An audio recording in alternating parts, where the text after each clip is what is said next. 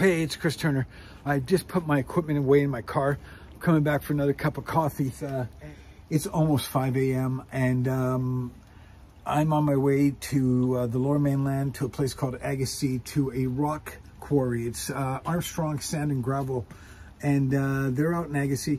They've requested my service to help find a piece of machinery that broke off. Um, on my way there, hopefully we can find it. They're going to take me to three spots where they believe it could be.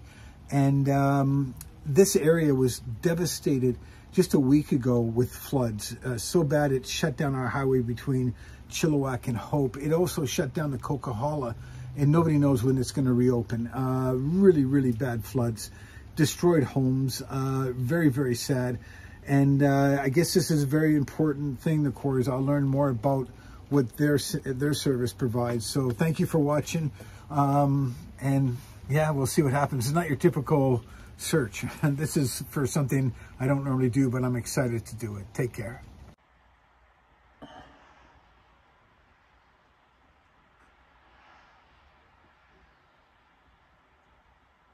Lost tooth from a backhoe, uh, about a foot and a half long, and uh, they want to find it before it goes through their uh, grinder. I can't blame them. Thanks for watching. I got up at four in the morning to get here in Agassiz. It was about a two hour drive. Uh, the roads are open now after the floods, and uh, hopefully we can find this for them. Thanks for watching.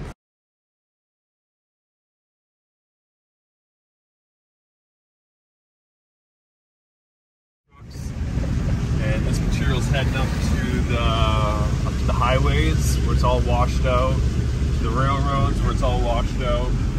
These big boulders here, three or four foot riprap. Yeah. Massive demand. This pile used to be huge, like way high. Now we barely have anything left. Wow. Wow. And this is all to rebuild the highways and the railroad. Yeah, we're just trying to get the supply chains open here, the highways and the railroads. How long do you think that's going to take realistically? Any idea? I, No I heard idea. it could be uh, over a year. Depends, depends on the political will. Yes, the political will, absolutely. Wow, what an amazing business. Uh, since 1969 in your family. That's correct, yeah. I was nine years old. Holy cow. Well, thank you for doing what you do. I mean, uh, like, you know, a lot of people wouldn't know how essential this is, especially during times like this.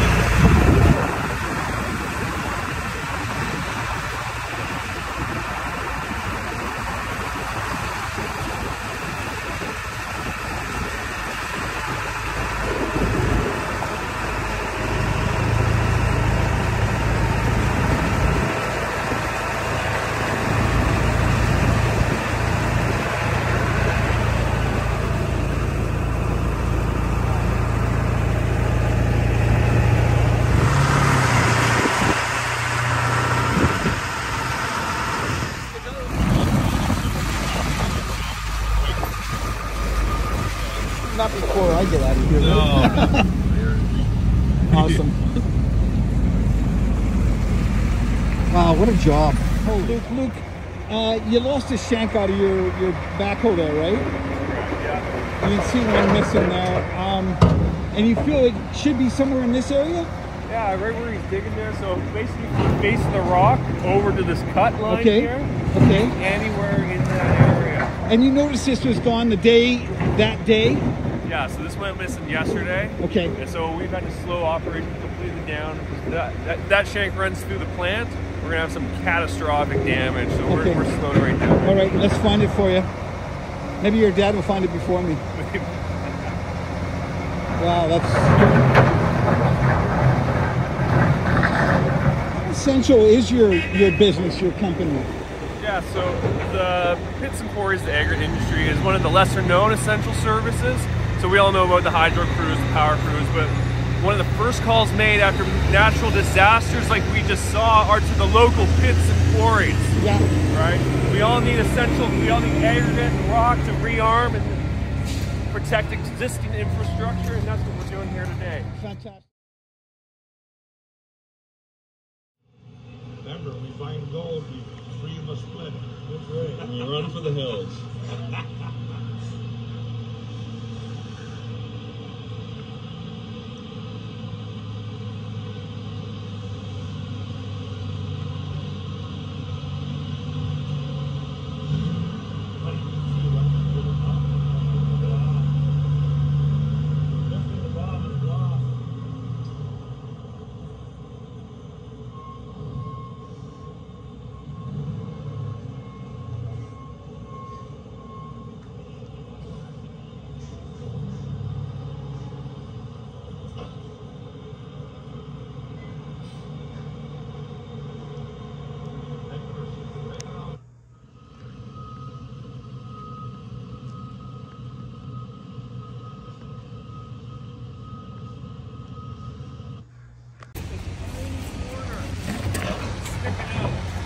Just enough to show a bit of metal. And then we were sitting there staring.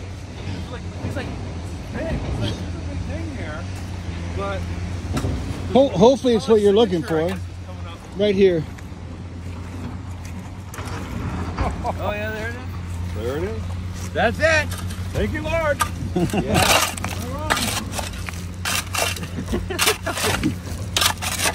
It was bigger than I thought. Oh, that's, yeah, of course. I see it now. That's the front end there.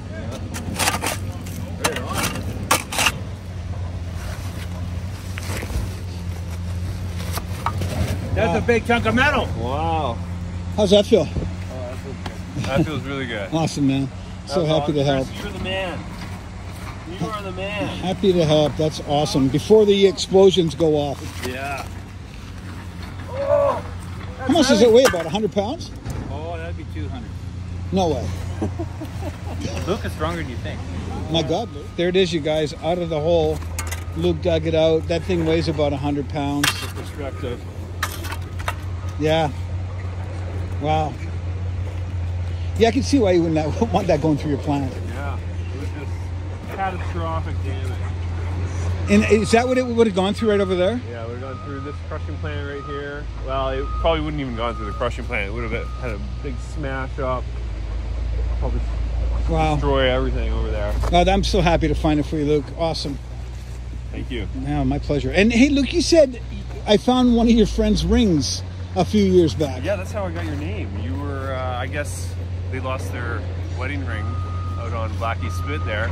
And every time we go for walks out there, they say, oh, this is where we lost our ring. And that Chris guy came. Oh, that's awesome. That's awesome. Thanks for watching my video, you guys. I know this isn't your typical find a ring video, but uh, it was important to find this tooth because if it would have gone through their their plant, it would have destroyed one of their their rock crushers, and uh, that would have been that would have been not a good timing right now, especially uh, with this crisis going on out here. So thank you for watching. Take care.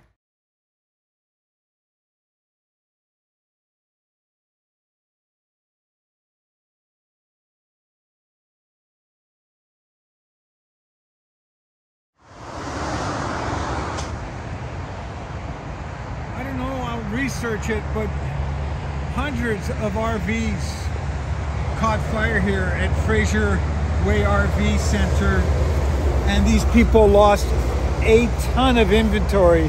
Hopefully, nobody was hurt.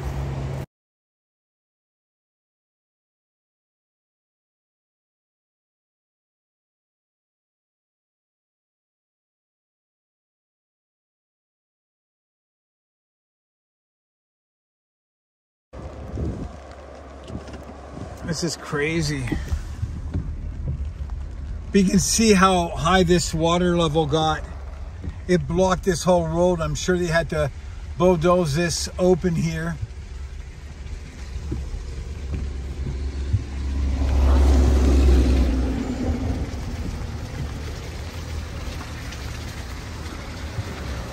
Crazy, eh?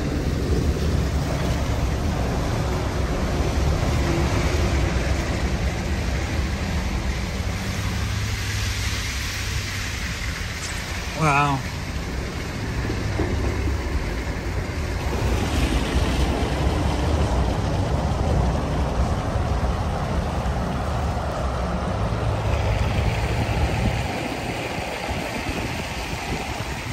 We had massive floods out here